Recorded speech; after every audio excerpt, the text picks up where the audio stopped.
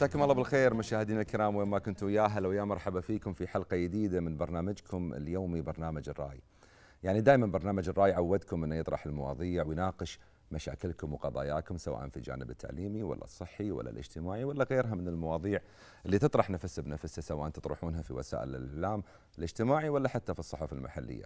طبعا اليوم الجو بارد لكن جونا العام أو المزاج العام عندنا في البحرين دافي لأن في حركة شد وجذب وهذه أمر طبيعي جدا مع تواجد وسائل التواصل الاجتماعي الانستغرام والتويتر والفيسبوك وغيرها من المواقع الإلكترونية اللي ممكن يصير فيها نقاش آه، ومواضيع تطرح نفسها بنفسها وهاشتاجات وغيرها.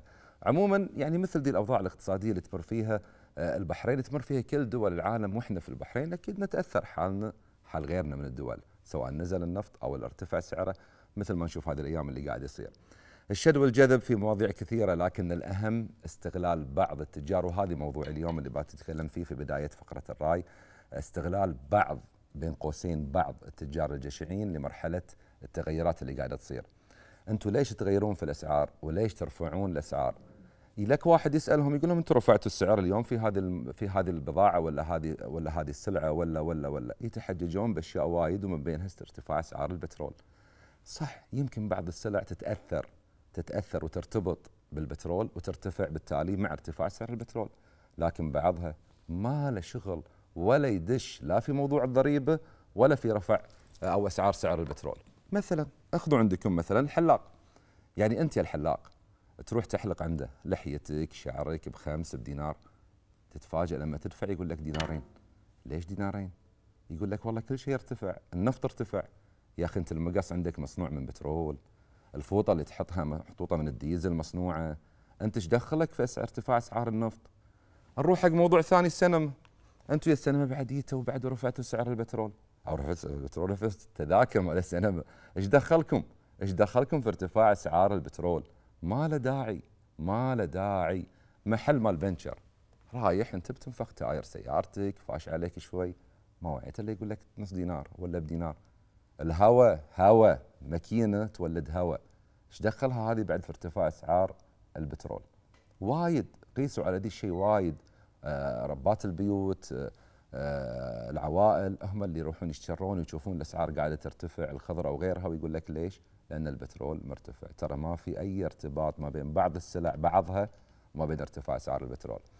طبعا إذا في نداء بنوجهه بنوجهه إلى إدارة حماية المستهلك. هذه دوركم وهذه يومكم وهذا الوقت اللي أنتم لازم تقومون فيه بدوركم نتمنى إن في ذي الأيام تشددون الرقابة على المطاعم والبرادات والمحلات التجارية بمختلف أنواعها. الكل قاعد يزيد أسعاره. أنتم اليوم إذا ما تحركتوا ما بتتحركون ترى. إحنا ندري إن لكم جهود وندري إن تحاولون قد ما تقدرون وتتحركون بيدكم وبريلكم مثل ما يقولون بكل طاقاتكم. لكن بعد هذه وقتكم أنتم الناس قاعدة تشتكي من ارتفاع أسعار السلع بشكل مفاجئ. طبعا هذه السلع اللي تكلمنا عنها مو مرتبطة لا بإعادة توجيه دعم ولا مرتبطة بأسعار بترول هذه يحتاج وقفه منكم أنتم عشان ما حد يستغل هذه الأجواء الحالية وزيد الشيله على الناس. حماية المستهلك اليوم يومكم هذه وقتكم. تواصلوا مع الناس زيدوا حملات التفتيش روحوا في الفرجان روحوا في البرادات روحوا في المحلات روحوا في كل مكان في المدن في القرى. شوفوا شلون قاعد الأسعار ترتفع. لا تقولون لا عددنا قليل. إذا عددكم قليل هذه وقتكم تطلبون فيه موظفين زيادة. وناس زيادة. أحموا الناس. هذه هذه دوركم وهذه واجبكم وهذه الأهمية اللي أنتم وضعتوا عليها وانحطيتوا في المسؤولية عليها. زيادة التوعية زيدوا التوعية حق الناس. لا تقولون بس إحنا بنفتش بعد زيدوا التوعية. زيدوا حملات التوعية طرق إعلامية وسائل أي شيء. اليوم بسهولة أنت توصل حق الناس. توصل حق كل واحد في البيت عندك التلفزيون بيخدمك. الإذاعة بتخدمك. آه، وسائل التواصل بتخدمك. كل المواقع الإلكترونية استفيد منها. زيدوا الرقابة زيدوا حملات التفتيش على المحلات. حاسبوا حاسبوا من قاعد يرفع السعر من غير مبرر وحطوا قوانين شديدة عشان يكون عبرة عبرة حق أي واحد غيره يحاول يزيد السعر السعر. حتى أنا قمت أتغلفط. السعر صار الزعر. عموما لا تتركون مجال حق أي متلاعب. مصلحة الناس أهم مصلحة الناس هي مصلحة الوطن ومصلحة الوطن هي مصلحة الناس. اليوم دوركم وهذه وقتكم وإذا في وقت نجمكم بيصعد أكيد هذا الوقت اللي نجمكم فيه بيصعد. خلينا نشوف معاكم عناوين حلقتنا الليلة.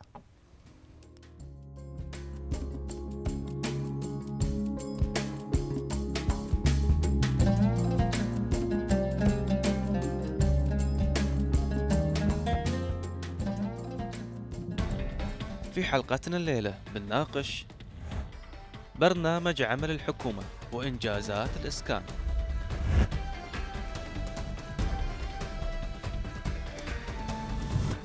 وسائل التواصل وتأثيرها على الرأي العام.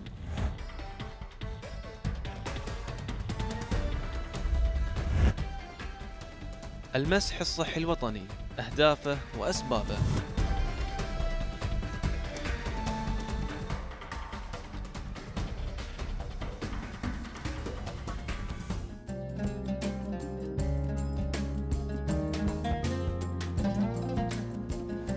مسي عليكم من جديد مشاهدينا الكرام. في سعيه المستمر لتوفير السكن الملائم للمواطنين حققت البحرين من خلال وزارة الإسكان في السنوات الأخيرة تطور ملحوظ في إدارة الملف الإسكاني بما يتناسب مع طبيعة التحديات المعاصرة اللي تواجهنا أو اللي تواجه هذا الملف الاجتماعي الهام خلال هذه الأيام.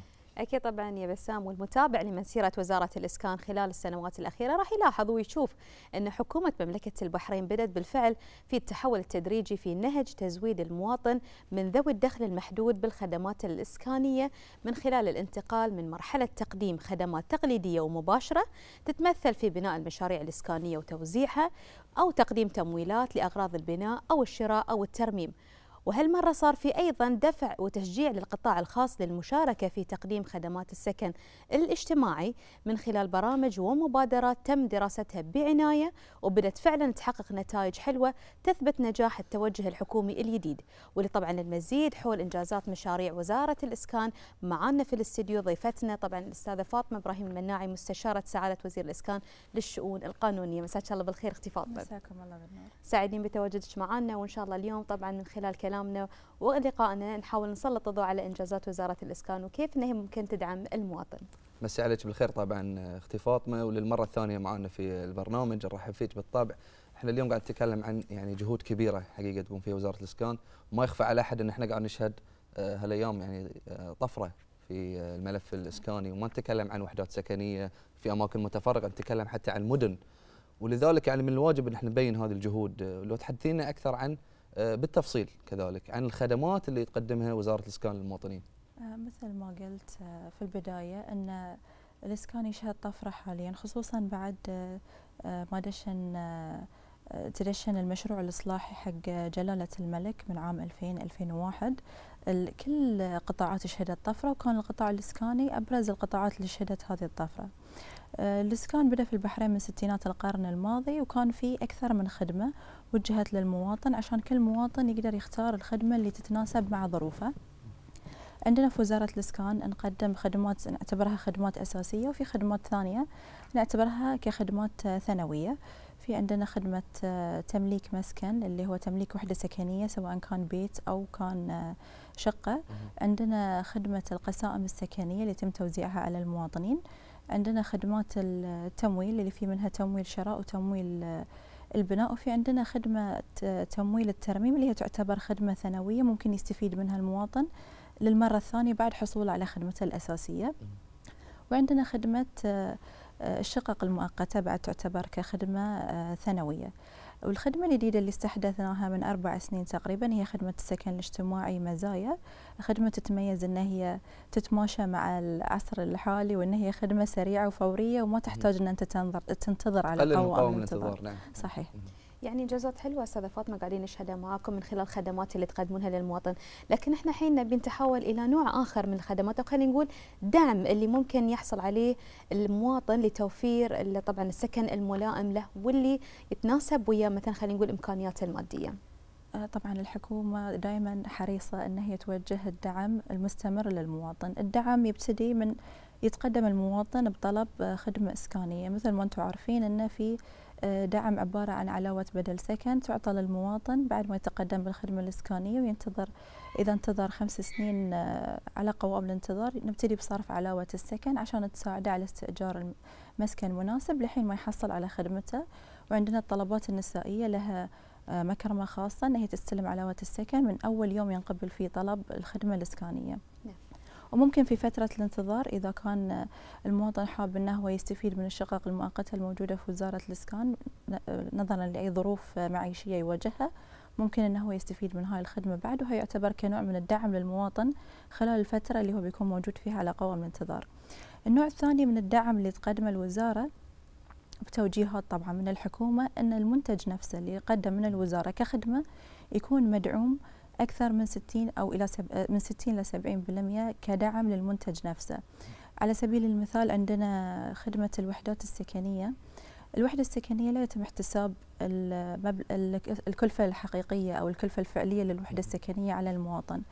فالكلفة الحقيقية مثلا كلفة الأرض كلفة الصرف الصحي كلفة الكهرباء كلفة البنية التحتية الأولية. هاي كلها لا يحتسب على المواطن اللي يحتسب الحكومة. طبعا إيه. اللي يحتسب على المواطن هو آه، تقريبا 35% من قيمة الوحدة الأساسية. وبعد في آه، دعم آخر في حال كان المواطن من ذوي الدخل المحدود اللي ما يقدر أصلا يدفع بعد القسط الشهري. فإحنا نحد القسط الشهري إنه ما يتجاوز 25% من دخل المواطن. فاحيانا يزيد الدعم عن 60% ممكن يوصل حتى ل 90% بالشكل اللي يعني ما يأثر طبعا على يعني حياته اليومية وحياته أكيد المعيشية أكيد بالتاكيد لكن هل يعني توقف الدعم الحكومي من بعد حصول آه، المواطن على الخدمة السكنية؟ آه لا طبعا. الحكومة تم واقفه مع المواطن لعقب ما يحصل وحدته السكنية ولحين ما يتملكها طبعا. في الفترة اللي هو يدفع الأقساط بعد في نوع ثاني من الدعم بس هذا يكون دعم خاص لحالات خاصة. عندنا الحالات اللي ممكن تطلب تأجيل وتخفيض في حال المواطن. صادته ظروف خاصة صادته ظروف صحية فقد عمله. آه، ممكن تصير ظروف طارئة. ممكن هو يلجأ للوزارة يطلب فيها تخفيض أو تأجيل دفع الأقساط لحين ما أنه هو يسترد عمله أو تنتهي حالة الظروف اللي هو فيها.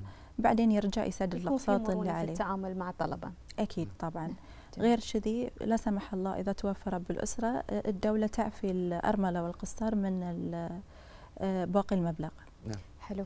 زين أستاذة فاطمة طبعا أرجع أكرر مرة ثانية الكلام اللي قلته لك في البداية إن هذه الخدمات والدعم اللي تقدمونه حلو بس إحنا نبي يمكن نتعمق أكثر في موضوع الدعم من خلال طبعا السنوات السابقة والمشاريع اللي قاعدين تسوونها نبي نعرف وياك الميزانيات اللي تم تخصيصها من قبل طبعا الحكومة لتقديم هذا الدعم للمواطنين. والمشاريع اللي ممكن حتى في المستقبليه اللي ممكن فعلا تخدم المواطن. آه، طبعا مثل ما أنتم عارفين صار في توجيه ملكي بتنفيذ أربعين ألف وحدة سكنية. آه هذه التوجيه ما هي عبث هي مدعوم بعد من القيادة مدعوم بميزانيات ومدعوم بأراضي عشان يساعدنا أن إحنا نسرع في تنفيذ المشاريع.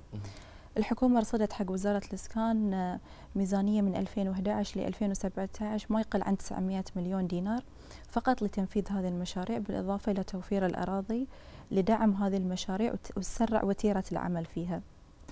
حاليا شغالين على ست مدن آه موزعة على محافظات البحرين. عندنا مدينة خليفة عندنا مدينة الشمالية عندنا مدينة شرق سترة مدينة شرق الحد وعندنا ضاحية الرملي وعندنا مشروع مع القطاع الخاص اللي هو ديار آه، العيون في ديار المحرق. بالإضافة للمجمعات السكنية اللي نبنيها اللي موزعة بعد على تقريبا كل المدن في البحرين المدن وقرى آه خلال الفترة اللي طافت بنينا أكثر من 40 مشروع موزع على البحرين كلها. أي نعم. يعني في النهاية إحنا يعني لابد من نش... إن إحنا نشكر آه، وزارة الإسكان نشكر موظفينها ومنتسبيها على رأسهم طبعا سعادة الوزير على الجهود اللي أنتم قاعدين تبذلونها. مثل ما قلنا يعني يعني طفرة هذه الأيام وإحنا يعني مستعدين طبعا لانشاء هذه المدن اللي تنضم طبعا لمدن البحرين ولمحافظات آه، البحرين. كنت معانا آه، الأستاذة فاطمة إبراهيم المناعي مستشارة سعادة وزير الإسكان للشؤون القانونية. شكرا على حضورك معنا العفو. شكرا لك. نرجع ونقول إن جهود وزارة الإسكان تواصل تنفيذ جميع آه، ما ورد في برنامج عمل الحكومة وهي بالطبع مستمرة بفضل الدعم إلا محدود من لدن القيادة الحكيمة والحكومة الموقرة. ونتوقع أو تتوقع الوزارة انه يكون عام 2018 هو عام الحصاد لجميع المبادرات والخطط والمشاريع اللي تقوم بها الوزارة. فاصل وراجعين.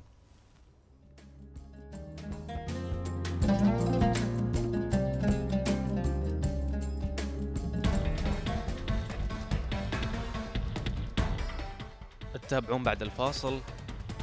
وسائل التواصل. وتأثيرها على الرأي العام.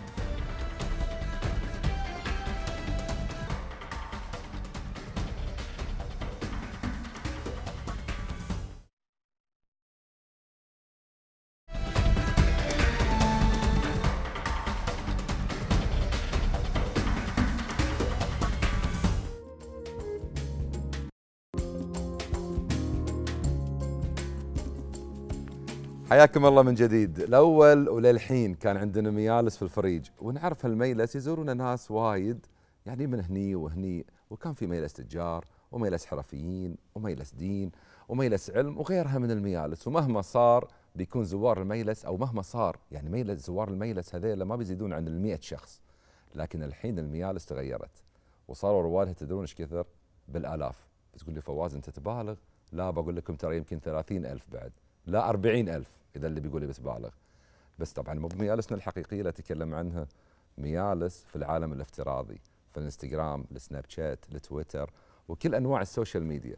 وصار ال followers هم زوار هذا الميلس.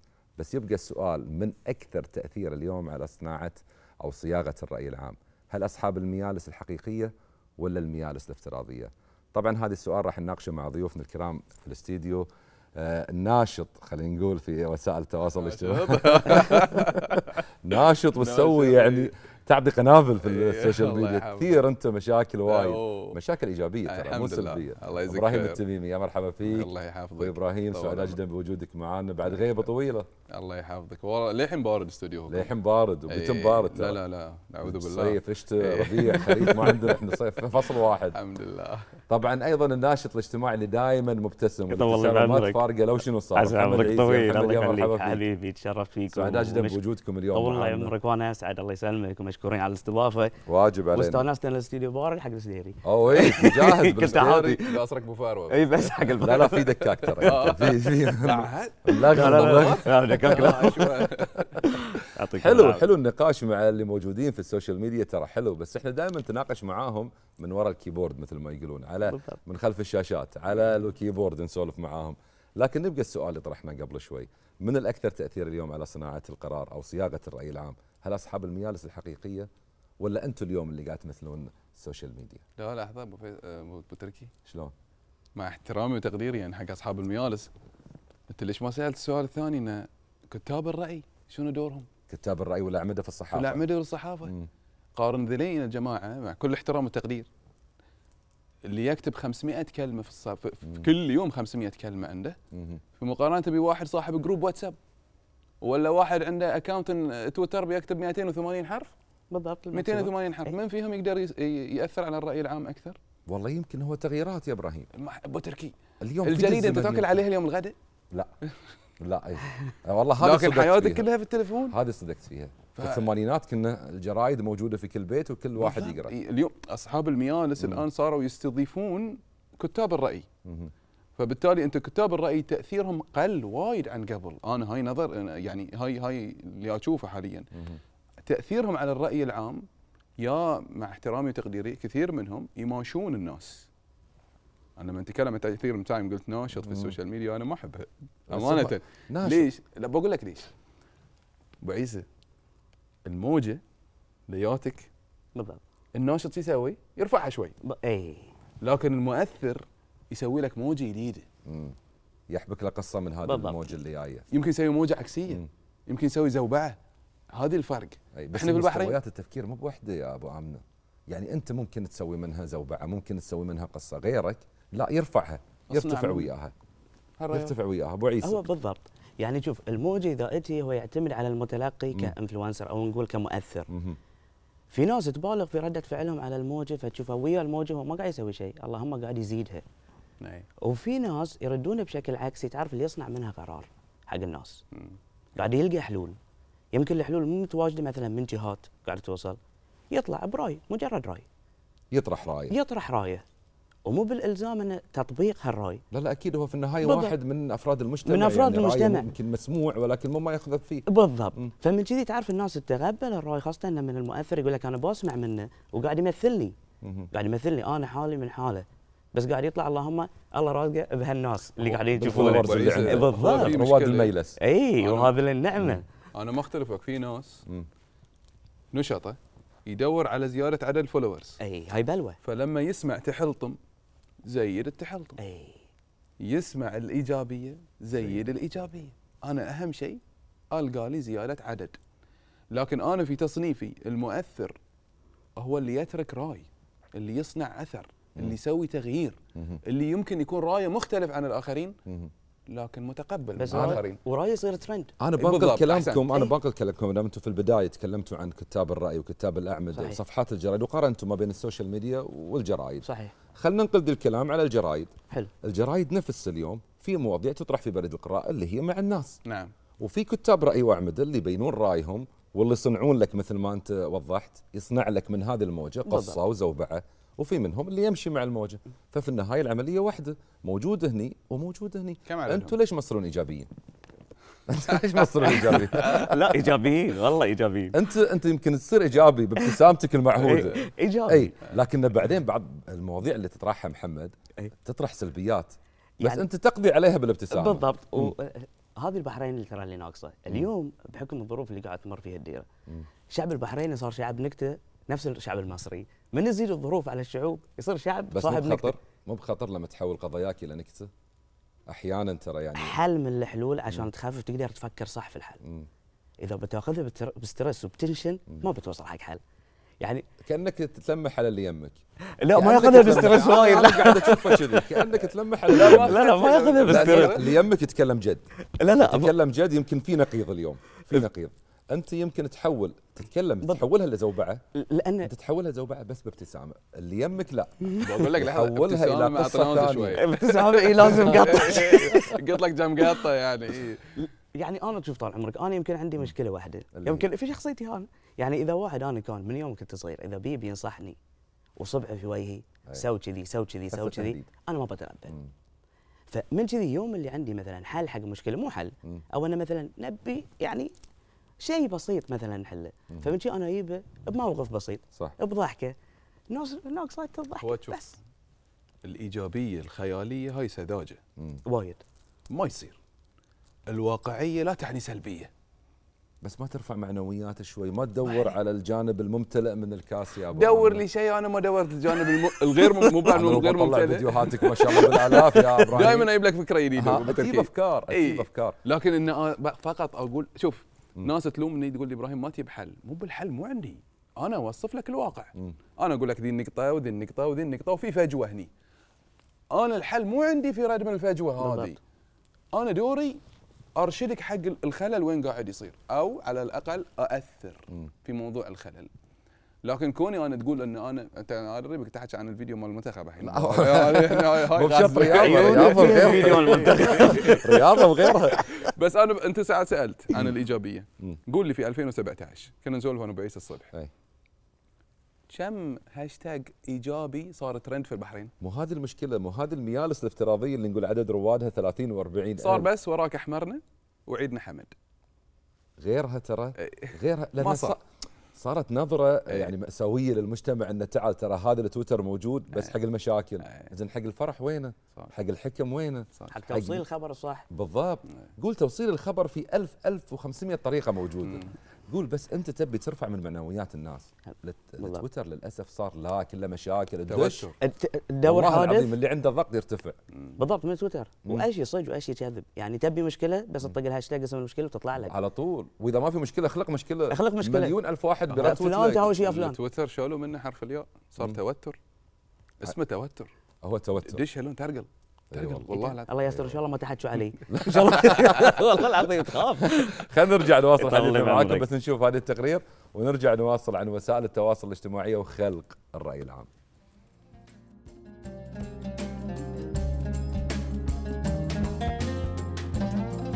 للأمانة كلش ما عجبني هالنوع من التغريدات إحنا نتكلم وإحنا ننتقد وإحنا نقول. كله على أساس أن نبي تغيير نبي تطور في هالديرة. لا أكثر كل القصد لما إحنا نتكلم وننتقد نبي عجلة التنميه والتطوير تصير أسرع من اللي هي عليه. لكن أما تطلع لك تغريدات بهالطريقة لو البلوه من عيال الديرة هاي مشكلة. في الأول والأخير الكلام يأثر ترى.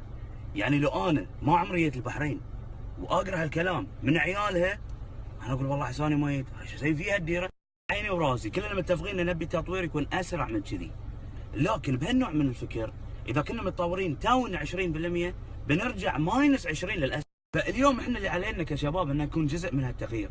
يا جماعة شباب البحرين ينضرب في المثل ترى. فاهم دارس واعي. فالتغيير يصير بشتى الطرق. بنقل بالنقل لا نخليها سايبة وباب مشرع. هذه اذا إحنا عيالنا نقول عنها كذي خلينا حق الغريب؟ خلينا نخلي ولائنا حق هالتراب حق هالأرض.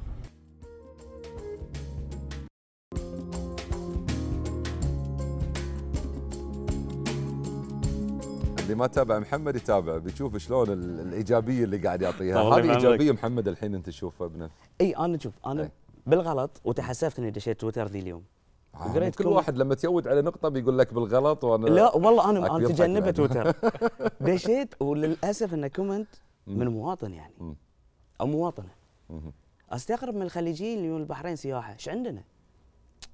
إحنا ما يصير نسوي كذي إحنا ما حلينا المشكلة إذا أنا ولد الديره أنا قاعد أتحكى كذي. أنا بدال ما اطور أنا بدال ما أطلع بس في النهاية أنت إنسان يعني أنت يعني تتأثر ببعض العوامل وتتكلم ما فيها شيء هذه وجهة نظري اليوم باكر أنا لا وجهة نظري تغيرت ما على عيني. وراسي. بني آدم بس في أنا بالنسبة لي مم. غيريه على ديرتي إذا أنا بي بتكلم بتكلم عن بحريني يدري أن الديره مثلا عندنا مشاكل إحنا مشاكلنا الداخلية. لكن أنا أطلع عشان العالم كله يشوف لا البحرين يقول لك هاي البحرينيين عيال ديرتنا كذي يتكلمون هاي عيال هالديره ليش ما تقول هذه وجه الديمقراطيه خل أرجع حق إبراهيم. إبراهيم أنت تتحلطم. هل أنت ما عندك غيره على ديرتك. لا اتحلطم ديرتك. اتحلطم بس مو بهاللون. عاد إن أنا مثل الحين اللي قاله أبو عيسى هذه لحظه من حقه. تبي بقول لك. شيء. الحين أنا لو تاجر أي. ما في داعي أروح أسافر البحرين. بطق هاشتاج. بشوف آخر الترندات اللي في البحرين. بقول هذه وضع الديره شنو؟ إذا أنا كلها بهالطريقة. عسى اني ما استثمرت. ما راح تستثمر.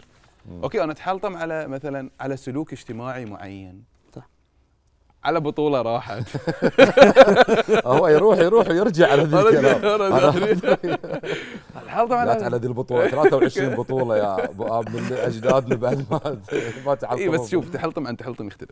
أنا يعني ما بزكي نفسي لكن تحلطم غير. آه لما أنا أتحلطم أنتقدك فنيا هذه هاي هاي تحلطم فني. أي حلو بالعكس. هاي لا. تحلطم إيجابي. بالضبط. أي. أنا أعطيك نواقصك الفنية. أنا أقول لك رد علي فنيا. أوكي لا تقول لي أنت سلبي. لا لا أنا الحين لما أنتقدك فنيا اذا أنا واقعي معك. مم. أنا قاعد أقيمك في فرق. هذه هي النقطة. مم. بس المشكلة محمد وإبراهيم يعني طلعوا لنا ناس ينتقدون في أمور وايد. ما عليه من حقك تنتقد. اليوم إحنا نعيش في مشروع ديمقراطي وفي مجتمع ديمقراطي وعندنا كل بالضبط. أدوات الديمقراطية بيدنا ونقدر ننتقد. صح لكن هل معقول أنا أفهم في الصحة؟ أنا أفهم في الغريب. التعليم. أنا أفهم في الأمور الاجتماعية. أنا أفهم في كل شيء. معقوله مستحيل. يطلع لي محمد اليوم يتكلم عن التعليم باكر يتكلم لي عن الصحة باكر عقب باكر عن الإسكان. مستحيل. مجموعة شنو. محمد هذه؟ هاي هاي مجموعة إنسان. أنت طفت مجموعة إنسان. بالضبط. لا هو تشوف من كذي هو التخصص حلو.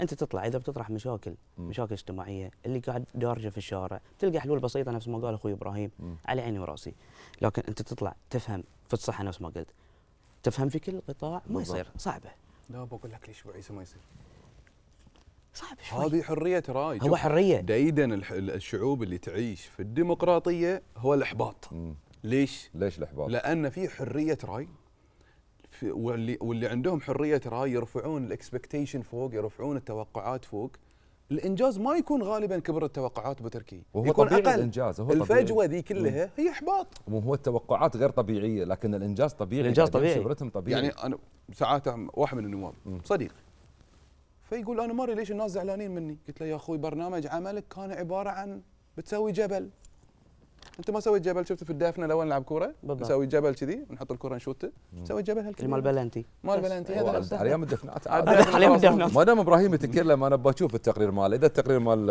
إبراهيم التميمي جاهز خلينا نشوف. تقرير إبراهيم ونرجع مرة ثانية ونواصل حديثنا نشوفهم يتحلطمون ولا ما يتحلطمون. نشوف التقرير.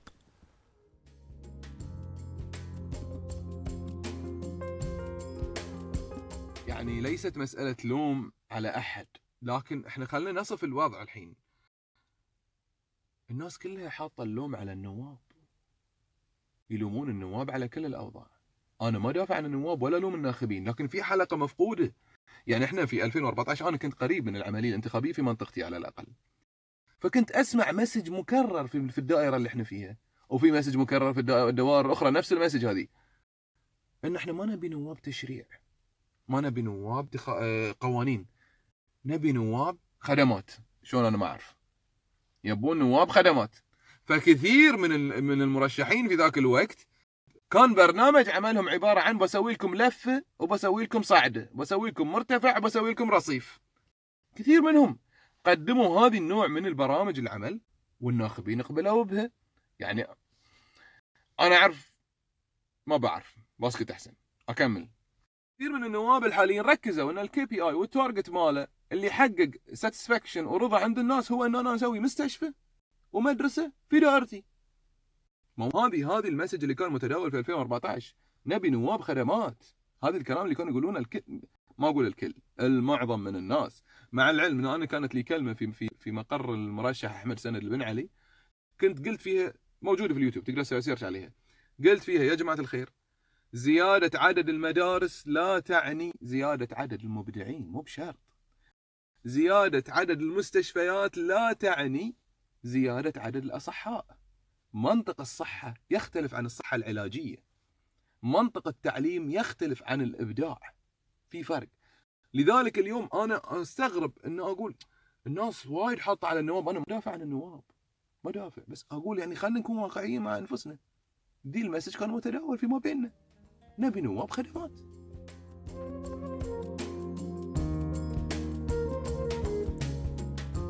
أعتقد يعني اللي شافه في السناب سناب إبراهيم واللي شافه اليوم معانا بيقول هذه يا إبراهيم أنت قاعد تمشي عكس التيار. الناس الحين تتحلطم على النواب وهي من حقهم. الناس انتخبوهم وراحوا وهذه حياة ديمقراطية عادي تمارس حقك أنا أتحلطم على النائب اللي أنا انتخبته. انت جيت اليوم تمشي عكس التيار وأنا دائما عكس النواب اي أنت هذا اللي يصنع هذا اللي زاد التأثير هذا التأثير إيه. أنت اليوم. ماشي عكس التيار أنت ما تتذكر 2014 مم. ما كان ذي ال message متداول ما بين أعظم معظم الناخبين نبي نواب خدمات. ما نبي نو... الكثير من الناس قالوا نبي نائب حق بيوت اسكان نبي نائب حق مستشفيات نبي نائب حق مدارس كل واحد يبي يشبع حاجاته ورغباته هذه إحنا كناخبين قلنا. أنا واحد من الناس اللي كنت أسمع ذي الكلام موجود مم. ويمكن حتى قلته وأنا ما أدري وأنا. مع إنه كانت لي كلمة مثل ما قلتها في السناب إنه يا جماعة ترى كثرة عدد المستشفيات لا تعني كثرة عدد الاصحاء صح نعم كثرة عدد المدارس لا تعني كثرة عدد المبدعين فكان قاعد أحاول أقول شغلة مهمة إن النائب لما بختاره دوره يضع تشريع للتأمين الصحي يضع تشريع للإبداع يضع تشريع عرفت علي شلون؟ يرفع الرانكينج مال البحرين مستوى البحرين في الإبداع ما يرتفع بعدد المتعلمين بس. بعدد المبدعين بس أنت يا إبراهيم يعني بعدد المخترعين اليوم التجربة البرلمانية في البحرين مم. نقول توها وليدة أي طبعا صح ولا لا؟ نعم. إحنا ما أنا ما بحسب التجربة السابقة أنا أقول عن اليوم جيل اليوم الحين نتكلم عن الجيل الح- الجيل الحالي الجيل الحالي يحتاج 20 30 يمكن عيالنا عيالنا هم اللي بيستفيدون من البرلمان لأن خلاص بيكون في ثقافة ووعي شنو دور البرلمان؟ مو بدوره مثل ما قلت لف زيادة من ولا إيه،. ولا صاعدة ولا صعد ولا ولا رصيف أثبتني. رفيع ولا إحنا يمكن مو محتاجين نواب حاليا بكثر ما إحنا محتاجين إلى مصلحين في المجتمع مم. المصلحين ذلين مو بشرط إنه يتعدلون بالوعظ والإرشاد اللي إحنا نسويه حاليا المصلح دوره قد المصلح يكون ترى على فكرة إمام مسجد. بس ما يكون نائب ها يعني مو بإمام مسجد ونائب شلون مصلح أنا هاي وضحها لي أكثر مؤثر يعني أنا غيرتك الكلمة مو هذه رجعنا مرة ثانية ما أنا برجع لك مصلح لا. يعني هو دكتور. في الجامعة لكن يعلم إنه في خطأ في التشريع. أو فجوة في التشريع تسبب قلة في الإبداع عند الطلبة في الجامعة صح يرشد إلى هذه الفجوة يحط هو يده على الخلل يحط يده على الجرح يحط يده على الجرح بس مو. هو يصير نائب فاهم علي؟ إحنا. مشكلتنا أنا أطق في أبو عيسى. هو نائب الحين أطقه أطقه أطقه أطقه السنة الجاية أنا بداله بالضبط عرفت شلون؟ إحنا ما نبي هذه. إحنا ذلين الناس الملهمين اللي يلهمون المجتمع. انه ترى مم. أنت بهالاتجاه أمش. وعندك قضايا كثيرة ابو صح تركي صح. أنا ما بحول الحلقة على النواب على طول بس لا لأن بما أن أنت طرحت فيها. بس هل المصلحين اليوم هم النشطاء في ال social media محمد؟ في جزء وايد عود منهم للأمانة. مم. يعني إذا إحنا بناخذ القرار شوف هو من ناحية تحفيز حق حق مثلا الناس المؤثرين في أي. التواصل الاجتماعي. إذا أنا اليوم قاعد أبين في عين الناس إن أنا زين بينعكس على المتابعين عندي. نكون واقعيين اليوم المؤثر بدون المتابعين ما يسوى شيء بالضبط أنت طالع أنت شلون صرت مؤثر من بالضبط. غير فولورز؟ هذولين يعني يعتبرون هلك ناسك هاي لهم فضل عود من عقب رب العالمين. فإذا ياني التحفيز أنا كمؤثر في وسائل التواصل الاجتماعي بصبه عندهم بوزعه عليهم بيوصل فإذا يعني كثرة التحفيز أو كثرة الطاقة الايجابيه اللي أنا بتوصل لي بتخليني القى جذور المشكلة شنو عشان نلقى لها حل ابراي بعيسى أنا بس باقي البصران المذيع أنت الحين كم سنة في الإنستغرام وفي السناب؟ يمكن أربع سنين؟ لا أقل أقل أقل أقل زين وصلت 40000 في ال- لا 34 زين أنت الحين قلت إنستغرام هذا- 34 34 هلك 34. وناسك والناس اللي. يدعمونك وال followers أنا سؤالي مم. يعني هو زين يعني برنامج الرأي بعد يعني حنستقبل ناس يعني من ال social لا ميديا أنتم في البال أي- أنتم في. البال من أول موسم حق الرأي أنا سؤالي من هي المؤسسات اليوم في الدولة اللي احتوت ال social media شلون احتوت ال social media ترى هذه يعني مصطلح فضفاض مثل ما لا يقول مو فضفاض أنا شنو طريقة العام؟ أعطيك مثال مم. العام صار في ملتقى إقليمي من أكبر الملتقيات في المنطقة مم. حق مؤثرين في ال social media مم. واحدة من المؤسسات في الدولة رشحت ثلاثة بحرينيين مهم. أكثر واحد فيهم عنده 500 follower 500 followers الثانية البنيه حسابها private الثالثة أمها وخالتها يعلقون على حسابها. تحلطمت عليهم في ال social media. طبعا شو ما أنا بيود عليك تحلطم طبعاً. تحلطمت عليهم. بصبر عاد اي من شهرين في مؤسسة ثانية. طرشت واحد يمثل البحرين في ال social media. وهو بيركب الطيارة اتصل فيني تليفون. إبراهيم قلت له نعم يا أخوي. قال لي هو اسمه سناب شات ولا شات سناب يلا. بيروح يمثل على أساس إنه هو يعرف عن وسائل التواصل ما الاجتماعي. هو ما عنده إلا واتساب. يقول لي التويتر قلت له مو تويتر اسمه تويتر. ال tweet قلت له لا يابا فأنت لما ما تحتويهم مال الاحتواء لو أقول لك عنه بهالطريقة مم. تحتوي الناس هذيل الجماعة يمثل البحرين في بالضبط. ذي المكان. أنت ما عندك event اليوم عود على مستوى ال social media. مم. أنا أقول لك هو الترند اللي ماشي. وتركي. ال social media وصلت مرحلة كبيرة جدا أنت تعرف بين روسيا وبريطانيا صايرة حرب على ال social media أي. بشكل مو طبيعي وز- في حساب أنشئوه جماعات روسية. قام يتكلم عن دور بريطانيا في إسقاط دولة القياصرة الروسية. قبل سنة 1930 بريطانيا صار عندهم turbulence مم. إيش بنسوي؟ نبي. نصكه. اي هاي سلاح. سلاح. سلاح. في الأخير سلاح. صكوه. هو صك- سلاح. صكوه بلوجو. إحنا مستغلين التويتر ولا مستغلين مواقع التواصل حق بس ضحك وتنازل وتحلط بالضبط، هذه المشكلة. بالضبط. أنا برجع لكم بس بشوف تقرير بعد. ويا المشاهدين وبرجع لكم. نشوف التقرير.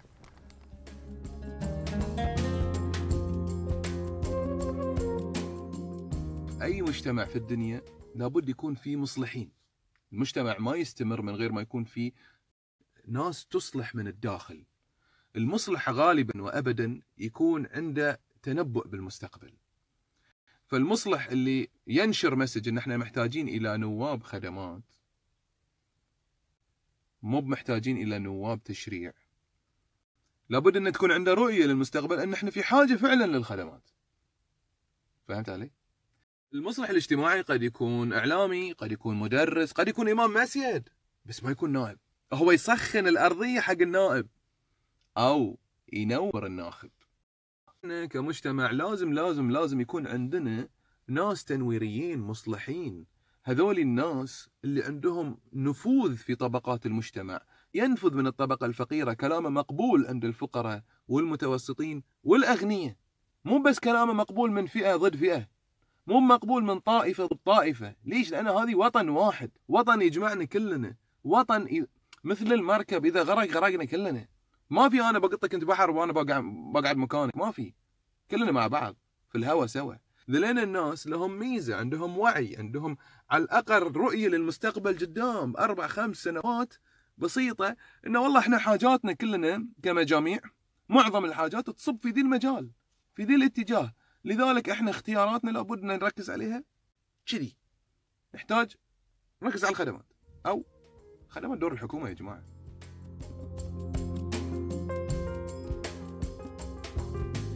هو كلام حلو الحقيقة كلام حلو بس إحنا نرجع للتحلطم. أنا ب... أنا بشيء إيجابي. شنو الإيجابية اللي أنا شفتها من مواقع التواصل الإيجابي؟ أنتم بروحكم قلتوا دش على تويتر.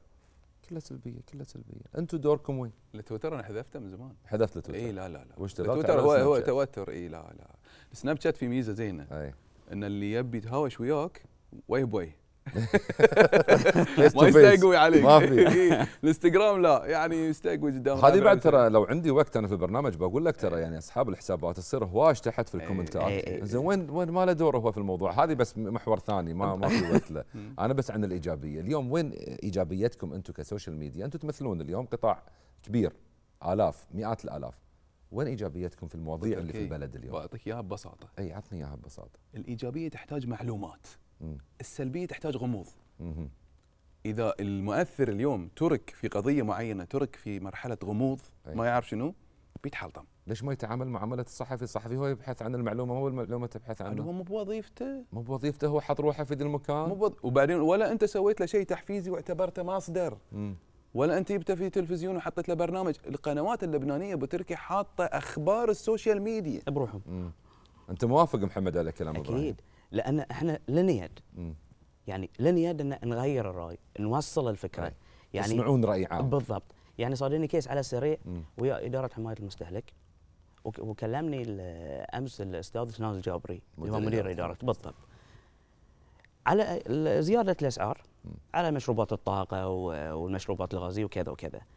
أكثر المتابعين كانوا يدزون لي صور انه شلون البضاعة اللي سنة انتاجها من قبل القرار تاريخ انتاجها قاعد تنباع بالسعر الجديد. فكان في غموض. ما حد طلع بالضبط قاعد يشرح التفصيل الممل عن ذي السالفة لأن هاي سالفة مو هينة. صح. على طول كلمت أنا ال call center مالهم. يا جماعة ترى كذي كذي بالضبط وأنا صورت snap جدا حلو أنت بحث عن المعلومة. بالضبط. بس لأن ذي الشيء تعرف البحرينيين إحنا مو متعودين عليه مو عارفين إحنا حقوقنا صح. من الأشياء اللي تضرنا. واللي علينا. أكثر ناس دشت علي ابو عيسى حاسب ترى ممنوع تصور. فهمت قصدي؟ البوينت.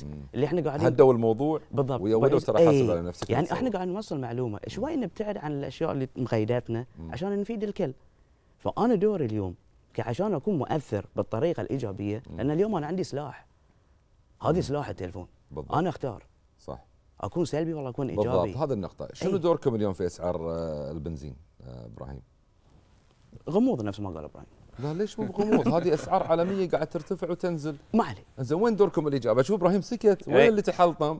وين اشوفه سكت إحنا طبعا في القرار. إحنا ما نقدر لا نرفض ولا نتحلطم على لا موضوع لا ما الموضوع. أنا قلت توضح للناس ترى إيه. هذه مو في البحرين بس في كل الدول ترى مرتفع السعر. إنه يرتفع السعر؟ أي. لا بس لحظة لحظة. أنت أي. تتكلم الحين عن صناعة ترند. مم. صناعة الترند مو بكذي.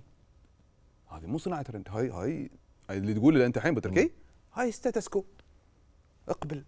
لكن إذا بصنع ترند لازم أقول له والله يا مو يا إيه، بحريني بتسويها قصة صح اي اي أنت يلا وين قصصك ليش ما سويت لنا قصة هذه سؤالي أنا لحظة يلا إحنا. قلنا الجهة إحنا قلنا الجهة. الجهة. تحتاج معلومة أنت عشان تصنع منها بالضبط الدراما تصير من غير معلومة لا ابد من غير قصة أبد. من غير من. غير أصل من غير. من- إيه. الحين تبي تغير ال lifestyle البحريني لازم تغير lifestyle ه صح ولا لا؟ صح. أسلوب معيشته يتغير. بدل ما تحط لك ثلاجتين في البيت حط لك ثلاجة واحدة. صح. بدل ما تشتري ماشله وايد عود. هذه ممكن يصير. ممكن ذي الإيجابية تصير. لكن وفر المعلومه معلومة. وفر لي المعلومه عشان. نفس ما يقول نقضي على جذور المشكلة يعني نفس ما قلت أيوه بالضبط هي غابة المعلومة. يمكن هذه بوجهه نظركم. أنتم ك يعني صناع قرار خلينا نقول في ال social media وفي غيركم بعد وايد. أنا ودي والله أطول معاكم ودي أسولف. معاكم. وخاصة هالمواضيع وايد حلوة لأن هي ميالسنا الحقيقية اليوم. وهذا البحرين معنا لا زالت ميالسنا ترى محتفظين فيها في فرجاننا وفي مدننا وفي قراننا ميالسنا عامرة بالناس الفاهمة مثل ما في ناس فاهمة وشباب فاهم اليوم في ال social media. إبراهيم التميمي يعطيك ألف صحة وعافية على. وجودك معنا اليوم. والحديث معك كان شيق.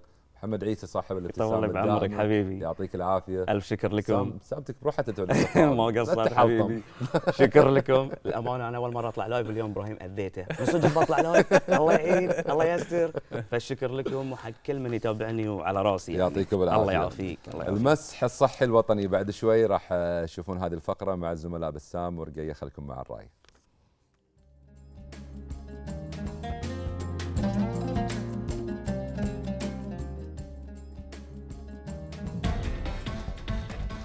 تتابعون بعد الفاصل. المسح الصحي الوطني أهدافه وأسبابه.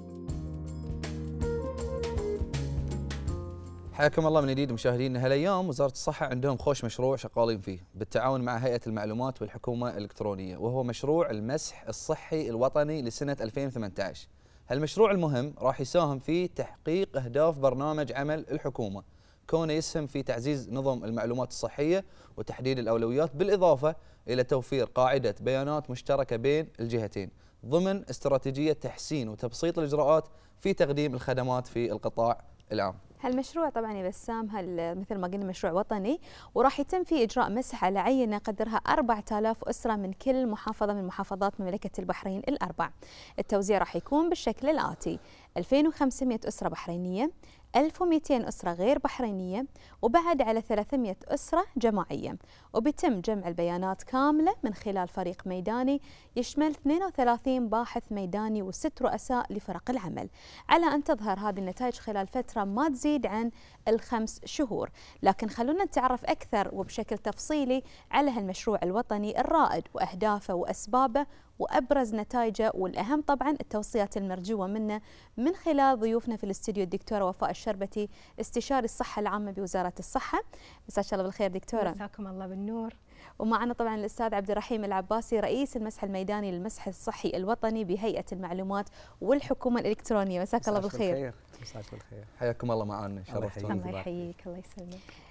طبعا دكتورة البداية بتكون معاك. إحنا قاعدين نتكلم عن مشروع له اهداف وله نتائج إن شاء الله تكون نتائج جميلة وإن شاء الله تنصب في نفس الأهداف طبعا اللي وضعت من أجل هذا المشروع. لكن في البداية نبي تكلمونا عن هذا المشروع ماهيته ما هو المسح الميداني طبعا المسح الصحي الوطني هو نعم. عبارة عن مشروع وطني. نعم. عبارة عن دراسة سيتم إجراءها على 4000 أسرة مثل ما تفضلتي في المقدمة. الهدف منها تقييم الوضع الصحي في مملكة البحرين. نبي معلومات زيادة عن الوضع الصحي في مملكة البحرين عن أهم الأمراض اللي يعانون منها السكان آه، عن آه، الإنفاق على الجانب الصحي عن مدى رضاهم عن الخدمات الصحية المقدمة عن كثير من الأمور إن شاء الله بنتطرق إليها خلال آه، خلال لقائنا بإذن الله. آه، فهو الهدف الرئيسي منه هو جمع هذه المعلومات. حلو إنزين دكتورة ال 4000 هل تعتقدين إنه هو عدد فعلا كافي على أساس إن أنا أقدر أطبق نتائج هذا الم- المسح الميداني وأقول إنه لا بالفعل أنا ممكن من خلال هال 4000 آم، يعني أحقق النتائج اللي أنا قاعدة أتوقعها واللي مثل ما تفضلتي قلتيها قبل شوي. آه، طبعا هو حجم العينة يتم قياسه أو يتم حسبته بطريقة معينة حسابية والإخوة آه، في هيئة آه، المعلومات والحكومة الإلكترونية قاموا بحساب هذه العينة بناء على معطيات معينة نعم. لو نقارن وضعنا في البحرين بدول أخرى مثل سلطنة عمان سوت المسح طبعا مع فارق التعداد السكاني كان حجم العينة 5000 فإحنا بالنسبة لنا آه، 4000 عدد كافي وأكثر من كافي يعني هو الله. عموما ال- يعني أي مسح يصير هو يصير على يعني آه، إذا كان ذو هدف يعني ومتخصص يكون على عينات من من الناس. بوجه لك بالسؤال آه، أستاذ عبد الرحيم يعني أنتم الحين يعني آه، جاهزين لهذا المشروع ولا شك إن في آلية آلية عمل راح تقومون فيها وفي فترة زمنية؟ عرفنا على هذه الآلية وعرفنا كذلك على الفترة الزمنية. آه، طبعا المسح الوطني آه، الصحي في مملكة البحرين آه، قام على أساس آه، المسح الصحي العالمي. طبعا المسح الصحي العالمي يعتمد من المنظمه الصحه العالمية. نعم. طبعا بدا المشروع في 2002 شاركت فيه حوالي 70 دولة من ضمنها دول مجلس التعاون. طبعا جميع الآليات جميع الآليات المستخدمة في هذه متبعة بحسب معايير منظمة الصحة العالمية اللي تتبع في المسح الصحة العالمي هو ملزم للبحرين ولا؟ آه، طبعا لأنه يعتمد عليه كثير من المؤشرات. اي نعم. من ضمنها مؤشرات الأهداف الأهداف التنمية. المستدامة. اي نعم. زين لذلك المستدام هو بيغير من المؤشر البحرين العالمي. حلو دكتورة يعني لو نبي نتكلم بشكل تفصيلي أكثر عن الأهداف اللي ت- يعني تتوقعونها من جراء تحقيق هذا المشروع. طبعا هو الهدف الرئيسي جمع بيانات عن الحالة الصحية في مملكة البحرين. من خلال هذه البي... البيانات اللي بنجمعها بيكون عندنا قاعدة معلومات في وزارة الصحة وحق مملكة البحرين بصورة عامة. على أساس هذه القاعدة وعلى أساس هذه البيانات نقدر نخطط للمستقبل نقدر نضع خطط استراتيجية. هذه الخطط الاستراتيجية تشمل الموازنة اللي لازم نحطها حق وزارة الصحة تشمل الموارد البشرية. أنا أحتاج كم طبيب أحتاج أبني كم مستشفى بناء هذه على هذه المعطيات اللي آه، بناخذها من المسح. أيضا بنحدد الأولويات. يعني مثلا لو لقينا أن المرض الفلاني أكثر شيوعا من المرض الفلاني فإذا نحط موازنة نحط آه، مستشفيات نوفر أطباء متخصصين في هذا المرض. فإذا هو بيساعدنا في تحديد أولويات في وضع خطط استراتيجية. الحين ال- مملكة البحرين على على يعني خلينا نقول على عتبة تغييرة كبيرة في النظام الصحي الموجود. مع نظام التأمين مع نظام آه، ال- الخصخصة لبعض الأمور. فإذا بنحتاج هذا المسح ل لتو يعني لتوفير رؤية أفضل للمستقبل يعني. معناته كأن هذا المشروع بيعطيني نظرة استشراقية مستقبلية حق واقع الصحة في البحرين. بالضبط بالضبط. وبالطبع يعني أستاذ عبد الرحيم يعني لو بنتكلم أكثر عن الزيارات الميدانية اللي راح يقومون فيها الفريق نعم. آه، لو يعني تكلمنا أكثر عن الفريق ويعني وكم عدد هذا الفريق ويعني وفي شغلة ثانية بعد وايد مهمة أنا أذكر يعني آه، في مسوحات سابقة إي نعم. يوم كنا صغار كانوا يجونا مثلا مال مسح التعداد السكاني بالضبط. ويدشون علينا البيت ويقعدون معانا ويعدون ويحسبون فنبي نطمن المواطن يعني شلون آه، يعني آه، الفريق راح يزور البيوت وشلون يعني راح يعني نشوف المواطن ال- ال- الموظف ويثق فيه بأن هذا الموظف هو من المسح الميداني. طيب، بالضبط. آه، طبعا ال- ال- ال- المسح آه، يحتوي على 32 باحث ميداني. وهم بالأساس ممرضين معتمدين من وزارة الصحة. كلهم ذو خبرة وكفاءة. زين وعندهم مجال طويل في الزيارات الميدانية حق الأسر. نعم. آه، طبعا أعلاهم فوقهم خمس مشرفين خمس مشرفين بحيث إنه يتابعون أعمالهم الميدانية. طبعا أعمالهم الميدانية الميدانية آه، في لها إجراءات بتكون. أولها نعم. بيكون هناك اتصال مباشر من مركز الاتصال إنزين للأسر عشان تأخذ من عند الموعد إنزين. وتثبت الموعد بحيث يعني. إنه يكون مقبول من رب الأسرة. نعم في بلاغ مسبق يعني. بالضبط نعم. بالضبط. آه وبعدها نعم. مباشرة بيوصل حق رب الأسرة مسج على تليفونه بعد إنه بتثبيت الموعد بذات الاختيار اللي اختاره طبعا رب الأسرة. أي نعم. طبعا بعدها آه طبعا بيزوره آه الباحث قبل لا يدش معاه البيت بياخذ بعد موافقته. نعم. موافقته بحيث إنه يكون مقبول بالنسبة له. بيدش معاه وبيملي استمارتين وياه. استماله طبعا مع رب الأسرة زين بال- بالمستوى المعيشي وكل شيء. وبعدين آه، في استمارة استمارة الفردية. طبعا بيكون باختيار واحد من الأسرة بحيث إنه يغطي جميع آه، معايير الاستبانة الفردية. وبعدها بيكون في هناك فحوصات. زين ياخذها بعد الباحث. أثناء هذه الزيارة. أثناء هذه الزيارة طبعا. أثناء هذه الزيارة بياخذ فيه فحوصات مثل فحص النظر زين الطول الوزن آه، الضغط يعني نفس العياده المتنقلة يعني. بالضبط بالضبط. أي نعم. يعني شيء بيرتاح منها بالعكس هاي. خدمة زينة يعني. بالضبط إيه. بالضبط. خدمة زينة تقدم وطبعا مع كل الأشياء اللي طبعا أو الإجراءات اللي ذكرها أستاذ عبد الرحيم معناته أن في آه، يعني قبل ما يدخل هذه باحث البيت أكون أنا متأكدة 100% أنه فعلا من قبل وزارة الصحة أو من هذه طبعا الناس اللي تعمل في المشروع وفي طمأنينة وما في خوف من أن أنا أدخل أي شخص بيتي وأكون متخوفة من هذا الشيء. طبعا هناك في تطمينات لل... لل... للمواطن بعد. غير اللي ذكرناها غير اللي بعد ذكرناها بعد. طبعا آه، مثل ما ذكرت هناك في مركز اتصال. نعم. طبعا آه، أقدر أقول لكم شيء حصري بالنسبة لكم. يا ريت. تم تعيين نستانس على الأخبار الحصرية. تم تعيين رقم خاص لمركز الاتصال اللي هو 17 377 731 نكرر الرقم حق مشاهدينا؟ 17 377 731 طبعا هو هالرقم هو اللي بيتصل مو بالمواطن راح يتصل فيه. آه، طبعا هذه من رقم هو بيحصل منه هو إيه. المواطن بعد يقدر يتصل. عنده استفسار عنده سؤال. يقدر من من اليوم يتصل؟ آه، آه، لا طبعا ال- آه، بيتفاعل معاه مع انطلاق مع, مع المشروع. انطلاق المشروع. ممتاز. مع ممتاز. انطلاق المشروع. لأن الكثير بيكون هناك من التساؤلات. صحيح. في في استفسار يبي يبي يستفسر عن ماهية ال- ال- ال- المسح آه، آه، تطمينات وكل شيء. طبعا هذه واحد من الاشياء التطمينات. طبعا هناك بتكون كل باحث بينزل فيه عنده بطاقة تعريفية عن طريقها نعم. يتعرف إنه هو فعلا من الناس المصرحين فيه من قبل وزاره الصحة. نعم. طبعا آه، في الموقع ال- الإلكتروني لهيئة المعلومات والحكومة الإلكترونية اللي هو البحرين dot bh في هناك link خاص حق البحث. في موجودة جميع الصور ومعلومات عن الباحثين اللي بينزلون بينزلون حق ال الميدان 32 باحث 32 32 باحث يدش على الموقع يطمن بعد. ولا أنسى هني بالذكر آه، تعاون وزارة الداخلية. لأن في تنسيق تنسيق آه، مستمر مع وزارة الداخلية طبعا أي واحد آه، يبي يطمن أي رب اسره يبي يطمن يقدر يتصل بأي مركز شرطه حتى برقم 99 هناك مهم. 999 بحيث إنه يعرف إنها يعرف إن هذا الشخص اللي بيزوره هو من ضمن البحث إنه يطمن نعم. من الشخص اللي بيزوره آه، دكتورة وفاء يعني الكلام اللي قاعدين نسمعه الحين من الأستاذ عبد الرحيم معناته أن هذه فعلا مشروع ضخم نعم. وتم الإعداد له بشكل يعني خلينا نقول مسبق وباستعدادات كبيرة.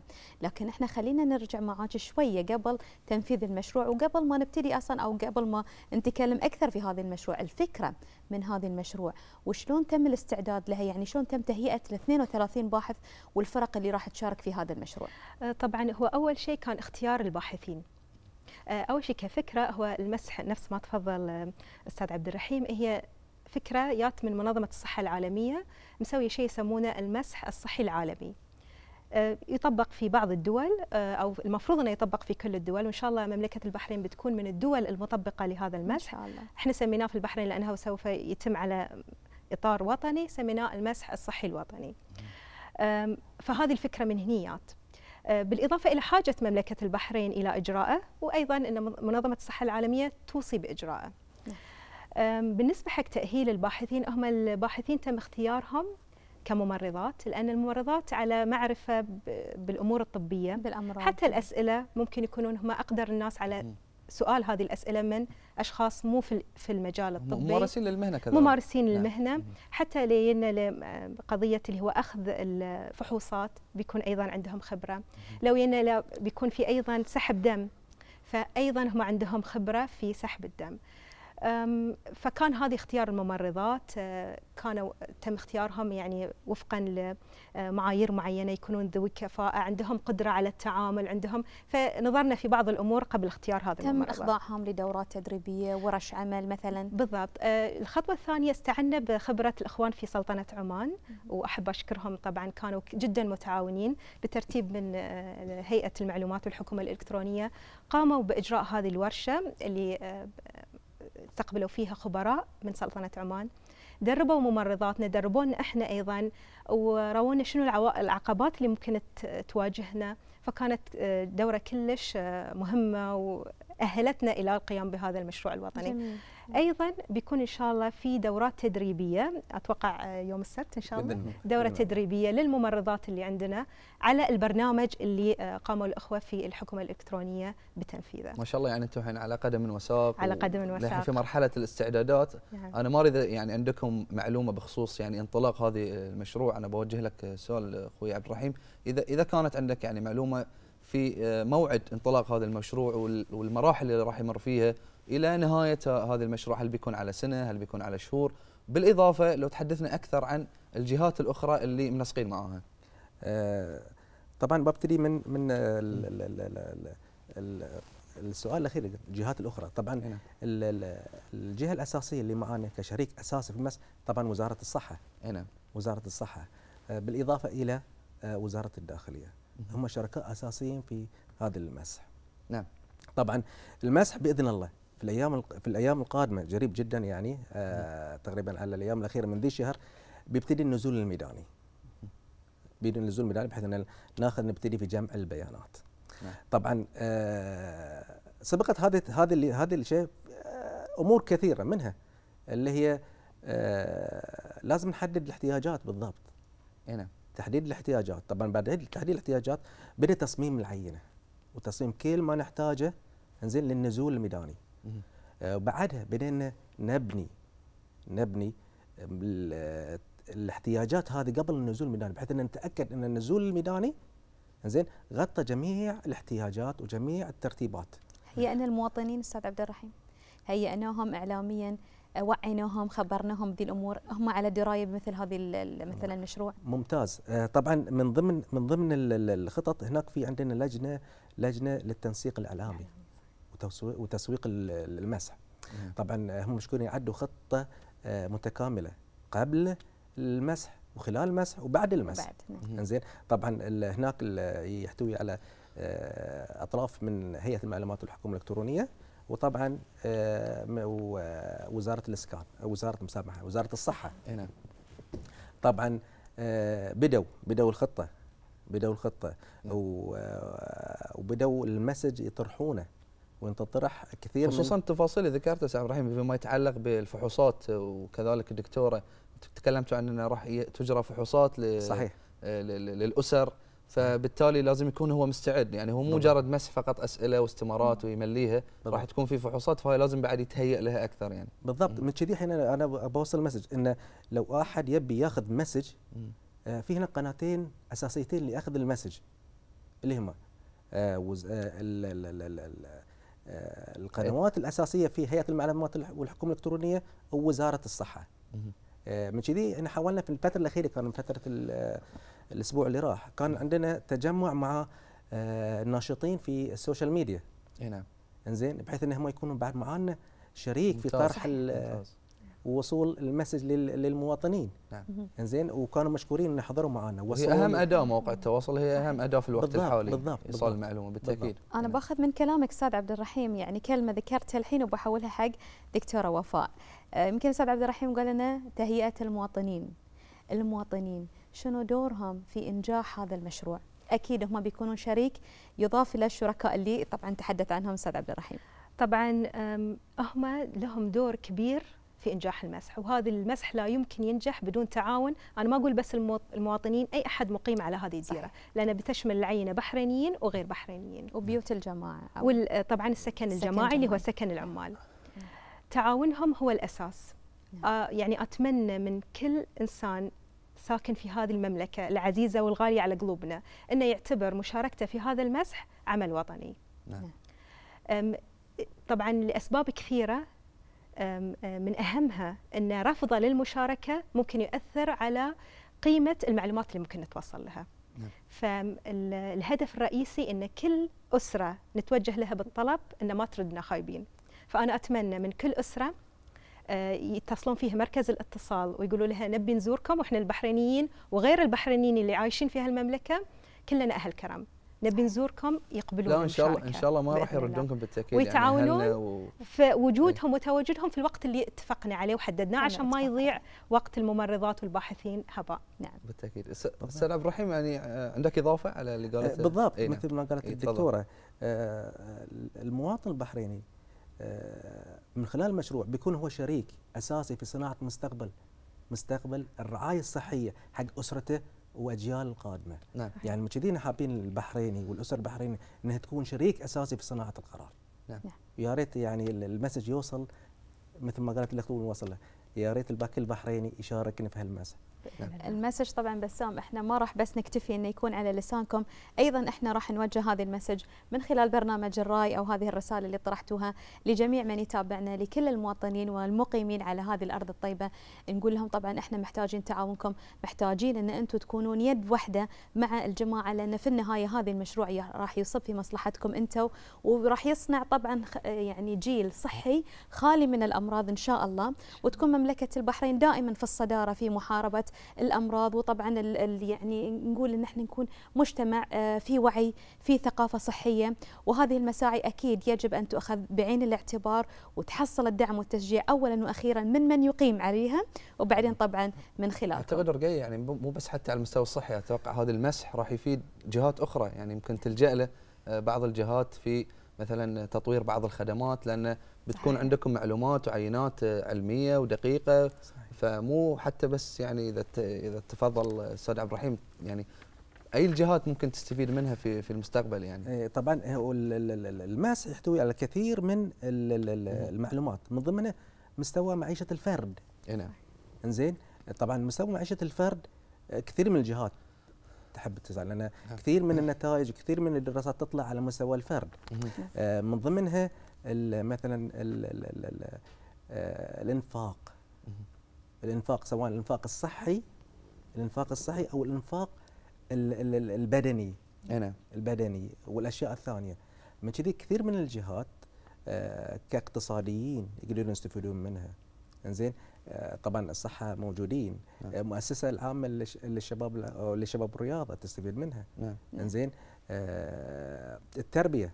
تستفيد منها لأن كثير من الأجيال يحاولون يبنون معلومات تنبني عليها طبعا وتؤخذ من قبل جهات أخرى. بالضبط بالضبط. يعطيكم العافية وشكرا طبعا لوجودكم معنا وشكرا لأن أعطيتونا هذه المعلومات الحلوة والبسيطة يمكن لكنها برغم بساطتها الا ان هي جدا مفيدة لمن يتابعنا ولمن فعلا الآن إحنا قاعدين نوجه لهم هذا الكلام لأن مثل ما قلنا هذا المشروع اولا وأخيرا لهم. دكتورة وفاء يعطيك ألف عافية دكتورة ش- وفاء الشربتي استشارية الصحة العامة بوزاره الصحة. يعطيك العافيه. أستاذ عبد الرحيم العباسي رئيس المسح الميداني المسح الصحي الوطني بهيئة المعلومات والحكومة الإلكترونية سعداء. مرة ثانية بتواجدكم معنا يعطيكم العافية. شكرا شكرا على حضوركم. شكرا لنا نكون معاكم بنتابعكم بعد. إن شاء إن الله. شاء الله، إن شاء الله. ممكن نسوي تقارير بعد على المسح. أكيد طبعا. طبعا. مشاهدينا يمكن أفضل كلام نقدر نختم فيه إن التعاون مطلوب. التكاتف مطلوب لأن إحنا كلنا نحب هذه الديرة ونبي مثل ما قلنا لكم وبنرد نكرر وبنقول إن إحنا نبي نطلع دائما في الصدارة، صدارة في كل شيء في المجال الصحي في المجال التعليمي وهذه كلها إن شاء الله ما راح يصير إلا من خلال وقفتكم وتعاونكم مع جهود المبذولة من قبل الجهات اللي طبعا تبي في الأول في الأخير المصلحة العامة لكم. يعطيكم العافية. يعطيكم العافية وإن شاء الله نلتقيكم باكر في مواضيع آه، جديدة تهمكم وتلامسكم مثل هالموضوع اللي طرحناه اليوم تصبحون على خير. خير